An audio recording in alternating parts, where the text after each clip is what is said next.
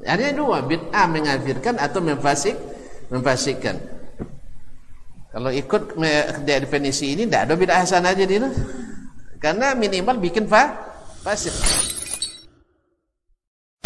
Wa syarrul umuri muhdatsatuha bid'ah wa wa finnar. Jadi jangan dipahami nanti kalau gitu nanti asal tidak sepaham dengan kita kafir.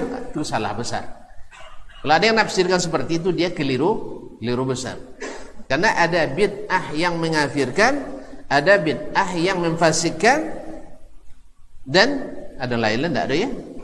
Ada dua bid'ah mengafirkan atau memfasik, memfasikkan.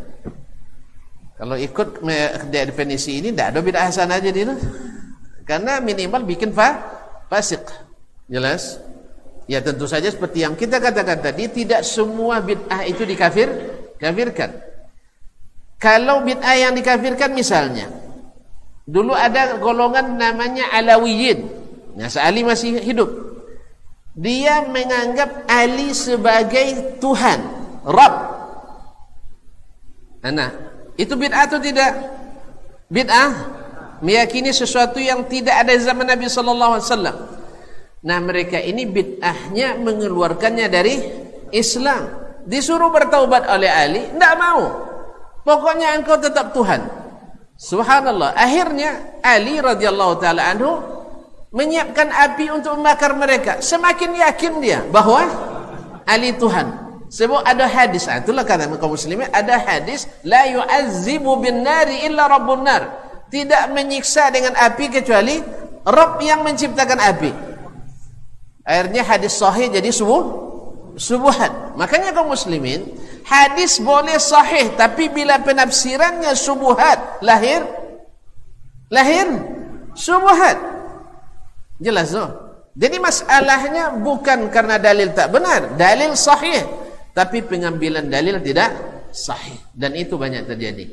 Makanya tadi dia katakan dalilnya sahih. La yu'azibu bin nari illa rabbun nar. Tidak menyiksa dengan api kecuali Rabb yang menciptakan api.